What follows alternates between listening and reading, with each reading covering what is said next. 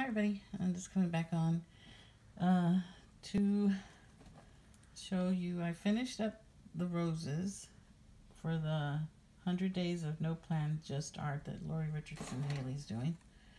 And then um, the other day she did a thing with scraps and then she took the she found a shape in there and then she um, kind of painted it and so today I put some scraps down and and I thought that one of the scraps kind of looked like a bird. So I made this weird peacock.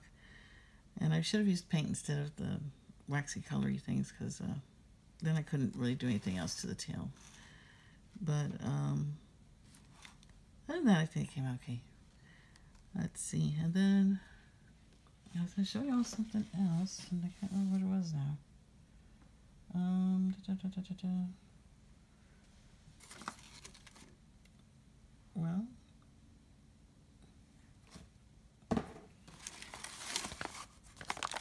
let's see. This is the toilet paper cover. um,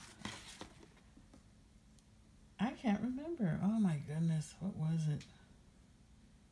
I'll find, probably remember as soon as I finish up. So I'll let y'all go instead of boring you with me looking around for what I was going to show you. Take care. Bye.